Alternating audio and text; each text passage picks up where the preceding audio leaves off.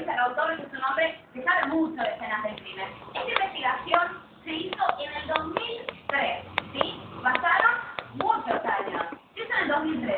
En ese momento él dice que había podido determinar que Carrascosa no estaba en el momento del crimen en el lugar del crimen. Pero ¿cuál fue el momento del crimen? ¿A qué hora mataron a María Marta?